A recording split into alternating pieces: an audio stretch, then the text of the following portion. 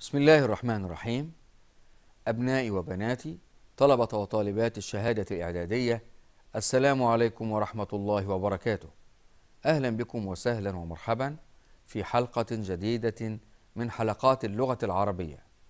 لقاؤنا اليوم مع مراجعة عامة على جميع دروس القراءة التي درستموها خلال الفصل الدراسي الثاني وسنبدأ بدرس الحمامة المطوقة.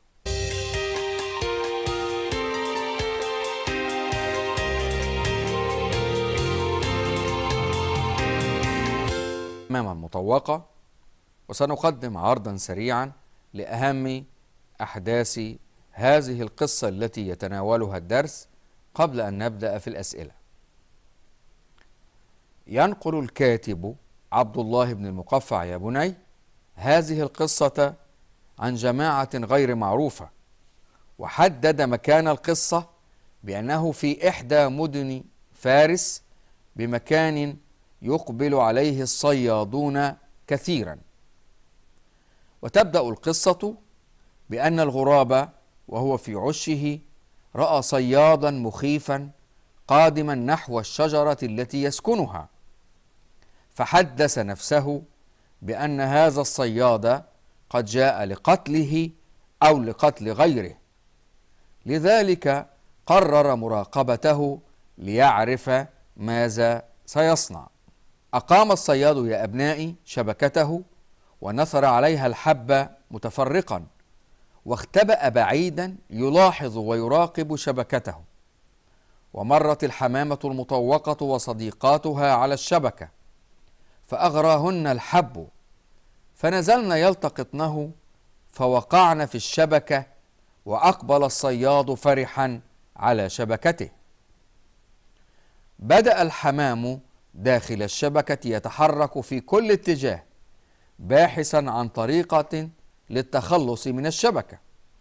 ووجدت الحمامة المطوقة أن التعاون بين الحمام سيكون من أهم أسباب النجاة. لذلك طلبت الحمامة من صديقاتها التعاون وأن يطرن بالشبكة يا أبنائي معا مرة واحدة. ونجحت المطوقة وصديقاتها في الإقلاع بالشبكة والارتفاع بها في الجو. لجأت الحمامة المطوقة وصاحباتها إلى الفأر لكي ينقذهن من هذه الشبكة. وهذا دليل يا أبنائي على حسن التصرف. وسألهن الفأر عن سبب وقوعهن في هذه المشكلة فأجابت المطوقة بأنهن أسرعن إلى الحب ولم يشاهدن الشبكة وهذا قدرهن. أوصت الحمامة الفأر بأن يبدأ بقرض عقد بقية الحمام أولا ثم بقطع عقدها بعد ذلك. فتعجب الفأر منها ومن إيثارها لصاحباتها على نفسها. فسألها عن سبب ذلك فوضحت له بأنه إذا بدأ بها فسوف يمل ويكسل عن قطع عقد الحمام. لكنه إن بدأ بالحمام فلن يرضى أن تظل حبيسة في الشبكة لأنها صديقته. فرد عليها الفأر بأن ما فعلته من جميل الأخلاق وهذا يزيد من محبتها في القلوب والحرص عليها. وبعد ذلك قرض الفأر العقد كلها ولما انتهى من ذلك انطلقت الحمامة وصاحباتها معها. اقرأ ثم أجب. يقول الكاتب نصب الصياد شبكته ونثر عليها الحب وكمن قريبا منها فلم يلبث إلا قليلا حتى مرت به حمامة يقال لها المطوقة. وكانت سيدة الحمام ومعها حمام كثير فعميت هي وصاحباتها عن الشبكة. فوقعن على الحب يلتقطنه فأمسكت بهن الشبكة وأقبل الصياد فرحا مسرورا. هات معنى نصب ومضاد كمن وجمع شبكة. معنى نصب أحسنت أقام. ومضاد كمن ظهر. وجمع شبكة شباك وشبك. ماذا حدث للحمامة المطوقة وصاحباتها؟ إني أسمعك تقول يا بني أن الذي حدث أن الصياد أقام شبكته ونثر عليها الحب متفرقا واختبأ بعيدا يلاحظ ويراقب شبكته ومرت الحمامة المطوقة وصديقاتها على الشبكة فأغراهن الحب فنزلن يلتقطنه فوقعن في الشبكة كيف تخلصت الحمامة وصاحباتها من هذه الورطة؟ تخلصت الحمامة وصاحباتها من هذه الورطة عندما طرن جميعا بالشبكة في دفعة واحدة وذهبن إلى فأر صديق للحمامة فقام بقرض الشبكة وبذلك تخلصنا من الورطة وحصلنا على حريتهن. ما الذي نتعلمه يا أبنائي من هذه القصة؟ من ضمن ما نتعلمه ما يلي. المرء قليل بنفسه كثير بإخوانه. التعاون أساس النجاح في الحياة. الحرص والحذر مطلوبان. الصديق الحق هو من يقف بجوار صديقه وقت الشدة. القائد الناجح هو الذي يستطيع بالحكمة وحسن التخطيط واستثمار الطاقات البشرية والمادية أن يقضي على كل المشكلات التي تواجهه ويقود الجماعة إلى بر الأمان. ضع علامة صواب أمام العبارة الصحيحة وعلامة خطأ أمام العبارة غير الصحيحة فيما يلي. الاتحاد قوة والتفرق ضعف. أحسنت بني. الإجابة صواب. عند مواجهة الخطر فعلى الفرد ألا يفكر في الآخرين الإجابة بالطبع خطأ. حدثت هذه القصة في بلاد الروم الإجابة بالطبع. خطأ. لجأت الحمامة إلى الأسد لكي يخلصها من الصياد. الإجابة خطأ. تتسم الحمامة المطوقة بخلق الإيثار. أحسنت بني. الإجابة صواب. كاتب هذه القصة هو الأديب نجيب محفوظ. الإجابة بالطبع. خطأ. ومع درس الحياة دقائق وثوان اقرأ ثم أجب. يقول الكاتب لعل أمير الشعراء أحمد شوقي كان من طليعة الشعراء الذين قاسوا عمر الإنسان بالثواني والدقائق في إلماح إلى قياس عمر الإنسان بالثواني والدقائق. قال أمير الشعراء دقات قلب المرء قائلة له إن الحياة دقائق وثواني. فارفع لنفسك بعد موتك ذكرها فالذكر للإنسان عمر ثاني. فعمر الإنسان يقاس بمدى ما يقدمه من خير وعلم ينفع البشرية.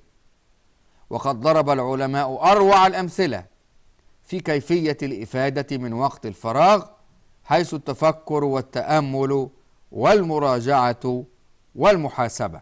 اشرح البيتين السابقين بأسلوبك.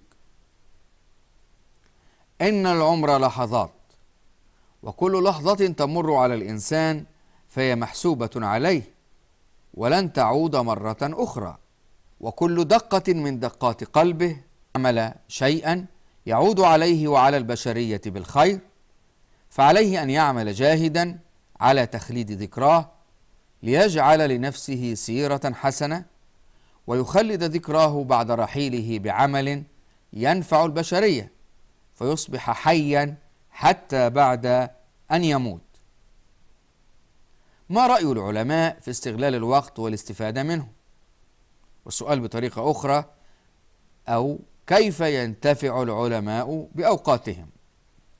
لقد ضرب العلماء يا أبنائي أروع الأمثلة في كيفية الإفادة من وقت الفراغ حيث التفكير والتأمل والمراجعة والمحاسبة. وقد قيل إن تفكر الإنسان ساعة خير من قيامه ليلة. ما المقصود بهذا القول؟ إن تفكر الإنسان ساعة خير من قيامه ليلة. والسؤال بطريقة أخرى أو لماذا يحثون الكاتب على التفكر؟ المقصود يا أبنائي أنه بالتفكر والتأمل يصل الإنسان إلى دقائق المعرفة وأخبار الكون وقدرة الإعجاز الإلهي في الصنع والتهيئة والنظام. فعمر الإنسان يقاس بمدى ما يقدمه من خير وعلم ينفع البشرية. ما الذي استرعى انتباه نيوتن؟ أسمعك تقول إن الذي استرعى انتباه نيوتن هو النظام الدقيق الذي يسير عليه الكون. كيف توصل نيوتن إلى نظرية الجاذبية الأرضية؟ توصل نيوتن يا أبنائي إلى نظرية الجاذبية الأرضية من خلال الخطوات التالية. الخطوة الأولى وتتمثل في التأمل العميق والتفكر وقت سقوط التفاحة فوق رأسه. أما الخطوة الثانية فتتمثل في البحث وطرح الأسئلة التالية على نفسه. لماذا سقطت التفاحة فوق رأسي؟ ولماذا تسقط على الأرض في شكل عمودي؟ ولماذا لا تنحرف ذات اليمين أو ذات الشمال؟ ولماذا لا ترتفع إلى أعلى؟ الخطوة الثالثة والأخيرة تمثلت في محاولة الإجابة على الأسئلة المطروحة من خلال فهمك للدرس ما الحقيقة المهمة التي يجب أن يؤمن بها الإنسان؟ الحقيقة يا بني هي إن قليلا من الزمن يخصص كل يوم لتنفيذ شيء معين قد يغير مجرى الحياة ويجعلها أفضل مما نظن وأرقى مما نتخيل. ما أهم الدروس المستفادة من هذا الدرس. ضرورة استثمار جميع الأوقات فيما يعود بالنفع على الفرد والمجتمع. تفكر ساعة خير من قيام ليلة. حث الإنسان على التأمل والتفكر والبحث. عمر الإنسان يقاس بمدى ما يقدمه من خير وعلم ينفع البشرية. تقدير دور العلماء العظيم فيما توصلوا إليه من نظريات وقوانين أفادت البشرية كان لها أكبر الأثر فيما يعيشه الإنسان من تقدم وازدهار حضاري.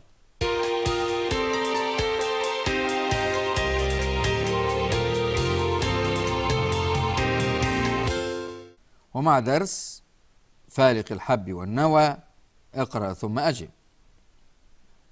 إنك لتنظر إلى حبة القمح أو نواة التمر فتحسب أنك إنما تنظر إلى قطعتين من الجماد الأصم الأخرس كأنهما حصاتان ألقت بهما الأحداث ثم أهملتهما على أرض يباب وقلما يطوف بذهنك أن ما أمامك خزانتان اختزنتا طاقة حيوية جبارة القوى. تنتظران الظروف المواتية ومعها مشيئة الخالق جلت قدرته وتدبيره وحكمته. هات معنى يباب ومضاد تحسب وجمع ذهن.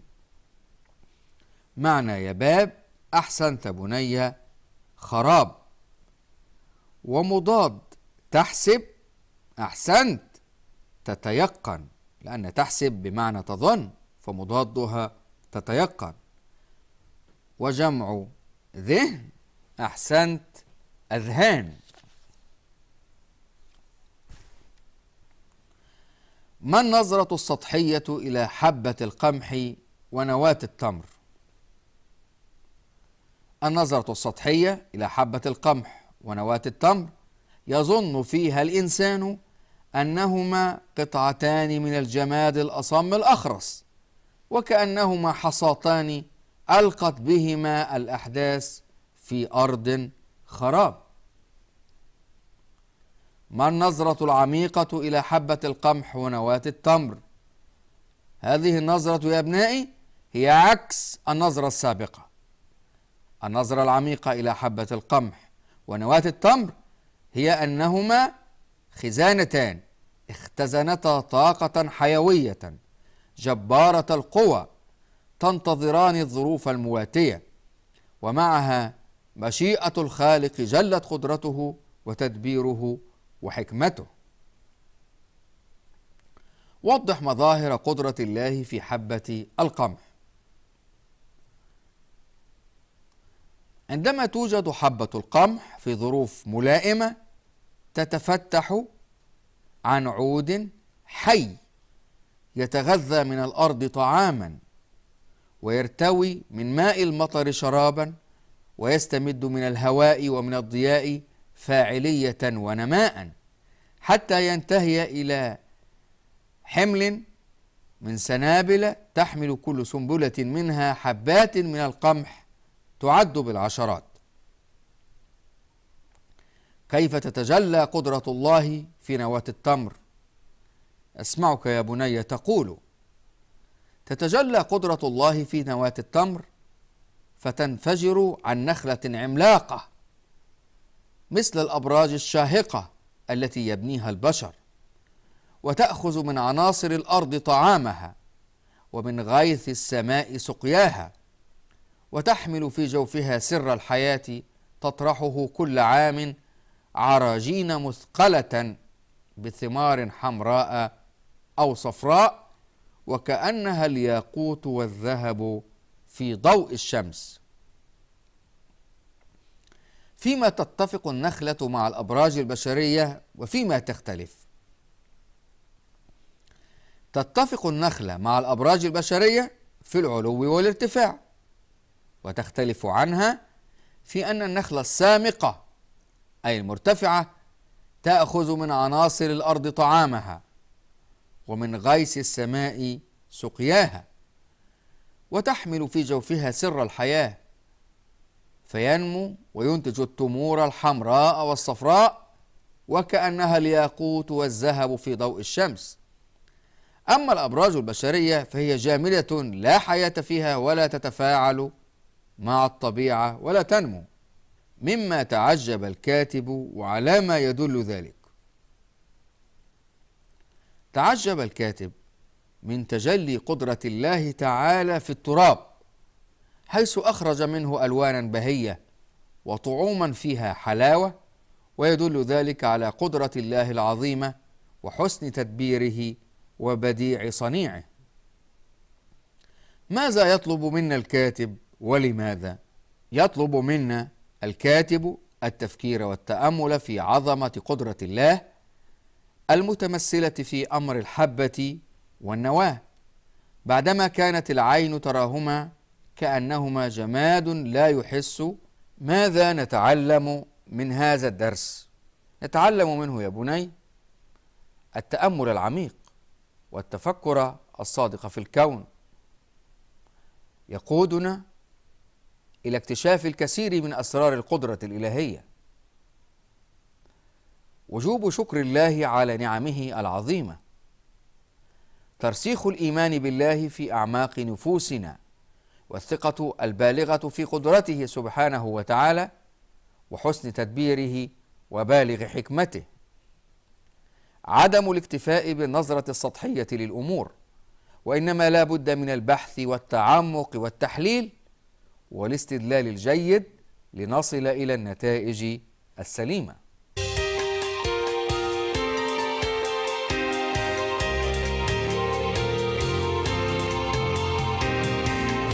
ومع درس المشروعات الصغيرة اقرأ ثم أجب.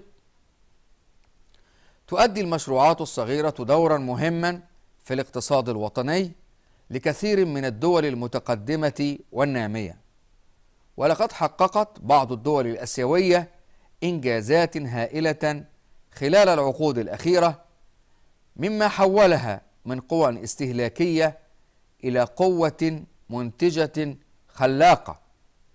بفضل الاهتمام بالصناعات الصغيرة التي تستغل الخامات المتاحة مبتكرة أساليب تكنولوجية جديدة.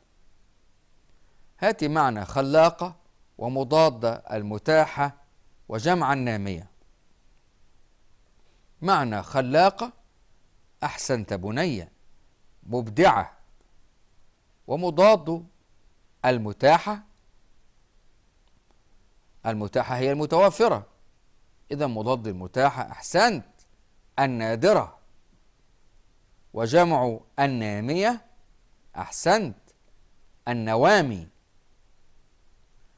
ما أهمية المشروعات الصغيرة؟ تسهم المشروعات الصغيرة يا أبنائي في دعم الاقتصاد الوطني لكثير من الدول المتقدمة والنامية وهذا هو سر أهميتها كيف تحولت بعض الدول الآسيوية من قوى استهلاكية إلى قوة منتجة تحولت يا أبنائي بعض الدول الآسيوية من قوة استهلاكية إلى قوة منتجة خلاقة بفضل الاهتمام بالصناعات الصغيرة التي تستغل الخامات المتاحة مبتكرة أساليب تكنولوجية جديدة تتلائم مع وفرة الأيدي العاملة لإنتاج سلع ترتبط بالحياة اليومية للمواطنين كالصناعات الغذائية والنسيجية والمعدنية والتي تلبي متطلبات الأسواق المحلية والتصدير إلى الأسواق الخارجية ما الذي تشكله الصناعات التقليدية؟ تشكل الصناعات التقليدية مصدرا مهما للمشروعات الصغيرة التي تهتم بتراث مصر الشعبي الحي المتطور. فيما يتمثل تراث مصر الشعبي من الصناعات الصغيرة.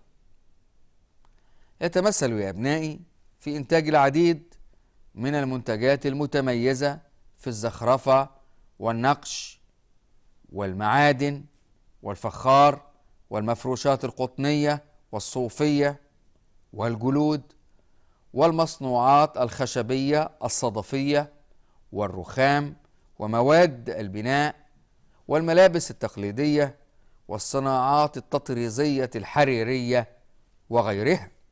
ما الخصائص التي يتميز بها المشروع الصغير؟ يتميز المشروع الصغير بعدة خصائص تتلخص فيما يلي يا أبنائي.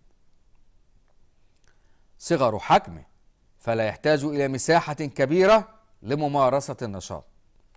لا يحتاج إلى تمويل كبير. عدد العاملين فيه قليل. حجم رأس مال المشروع صغير نسبيا. نشاط المشروع ونطاقه الجغرافي محدود. يعتمد على تكنولوجيا بسيطة عند بدايته. كيف تسهم المشروعات الصغيرة؟ في القضاء على البطالة؟ أسمعك تقول يا بني تسهم المشروعات الصغيرة في القضاء على البطالة من خلال إيجاد التوازن الصناعي بين الريف والحضر ومن خلال توفير فرص العمل للشباب وتوظيفهم مما يسهم في القضاء على البطالة ما أنواع المشروعات الصغيرة يمكن تقسيم أنواع المشروعات الصغيرة على النحو التالي. مشروعات إنتاجية. مشروعات خدمية. ومشروعات تجارية. لماذا يجب الاهتمام بإعداد وتنمية مهارات رجل الأعمال الصغيرة؟ يجب الاهتمام يا بني بإعداد وتنمية رجل الأعمال الصغيرة. حتى يصبح قادرا على إدارة مشروع صغير بكفاءة وفاعلية في ظل التغيرات الاقتصادية العالمية. وإيمانا بأن هذه المشروعات تمثل النواة الأساسية لتحقيق التنمية الشاملة في مصر. ما الذي تتطلبه الزيادة السكانية وتوفير فرص العمل؟ تتطلب الزيادة السكانية خلق فرص عمل للشباب من خلال التوسع في الصناعات الصغيرة لما لها من عائد اقتصادي مرتفع بالنسبة لرأس المال المستثمر فيها.